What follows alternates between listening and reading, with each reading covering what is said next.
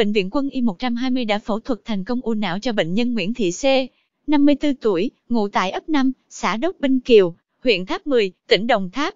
Bệnh nhân nhập viện trong tình trạng đau đầu, chóng mặt kèm vùng trán phải có khối u dưới da to cứng.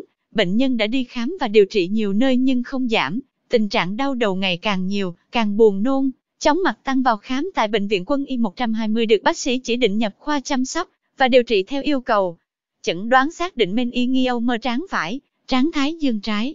Kết quả chụp MRI có hai khối u, một khối u màng não xâm lấn khớp sọ tráng, hủy xương sọ làm phù não nhiều, kích thước 5 x 6 cm, một khối u màng não xâm lấn vào xương sọ tráng đỉnh, P, hủy xương sọ đường kính 3 x 2 cm gây phù não.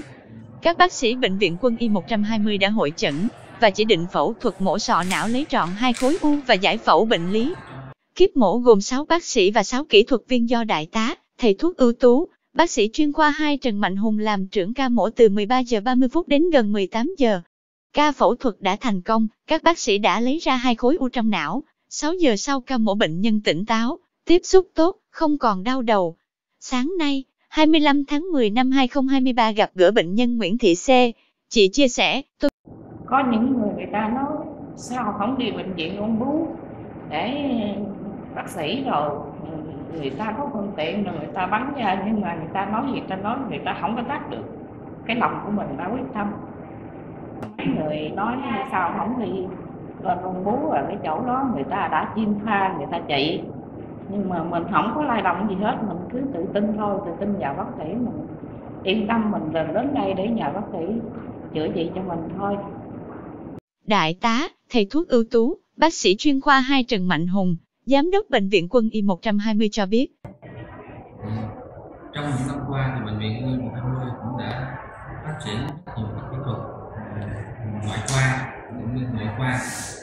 Trong về nội khoa thì bệnh viện cũng được sự quan tâm của thủ trưởng cấp trên của quân y, thủ trưởng bộ quốc phòng cũng như là thủ trưởng quân khu cũng đã đầu tư máy móc trang thiết bị xây dựng các những cái mặt ờ, ờ, mạnh về ngoại ngoại khoa như là thận lọc máu ờ,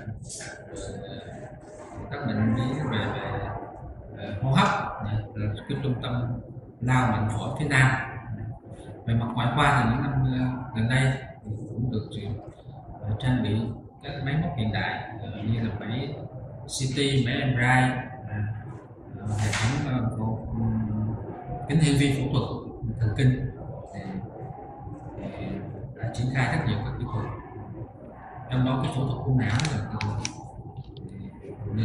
gần đây nhất thì đã, đã tiến hành phẫu thuật ờ, một ca vừa rồi cái ca phẫu thuật ờ, đầu tiên cũng là ca phẫu thuật thành công ở bệnh viện năm 20 à, đối với phẫu thuật ờ, trong cái ngành phẫu thuật thần kinh thì cái phẫu thuật u não là cái phẫu thuật khó khăn nhất. Đòi hỏi trang thiết bị hiện đại cũng như cái tay nghề của phẫu thuật viên rất là cao với phẫu thuật những cái phẫu thuật u não. Dạ và cái ca bệnh à, phẫu thuật ở bệnh viện 20 là cái, ca phẫu thuật phức tạp. Một trên một bệnh nhân có hai khối u. Ở cái vị trí ở cái vùng liền não rất là chạy rất là dễ chảy máu. Mà khi mà chảy máu rất là khó cầm.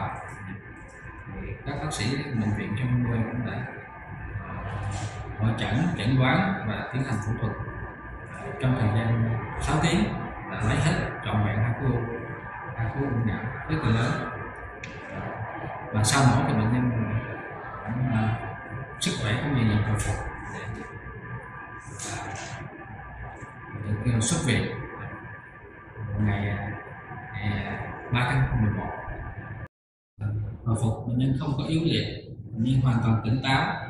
Bệnh nhân vết mổ thì không có nhiễm trùng bệnh nhân tỉnh táo hoàn toàn các chức năng sống là bằng bình thường ý thức là cái đây là ca phẫu thuật phức tạp. Nếu không điều trị kịp thời bệnh nhân có thể bị phù não nặng hơn hôn mê để lại di chứng trầm trọng như mù mắt liệt hoặc tử vong. Khối u của bệnh nhân rất giàu mạch máu, bám vào các hốc xoang và sàn sọ, có nguy cơ chảy máu nhiều trong quá trình phẫu thuật, gây ảnh hưởng đến tính mạng người bệnh trong quá trình phẫu thuật. nặng bệnh nhân có thể là uh, nhìn mờ có thể là yếu tay chân. Còn những cái triệu chứng nhẹ hơn là đau đầu chóng mặt buồn nôn.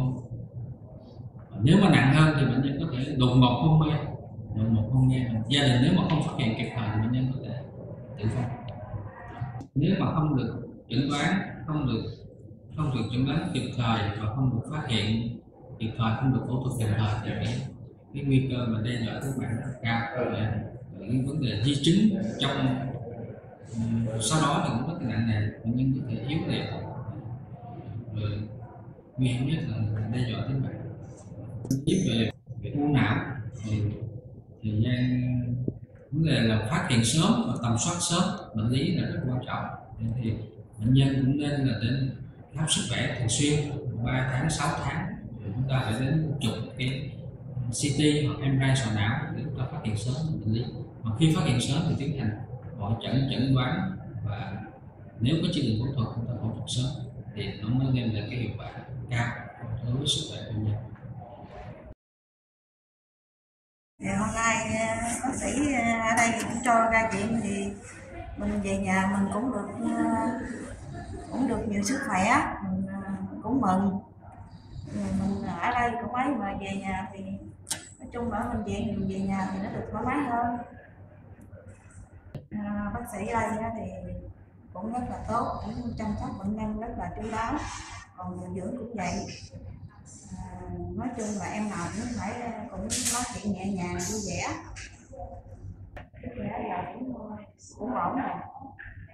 Đây là ca phẫu thuật u não phức tạp thành công đầu tiên tại Bệnh viện Quân y 120. Thời gian qua, bệnh viện đã được đầu tư các trang thiết bị, máy móc hiện đại để phục vụ nhu cầu khám chữa bệnh của nhân dân trên địa bàn đặc biệt là hệ thống kính vi phẫu hiện đại của Đức trong phẫu thuật thần kinh sọ não.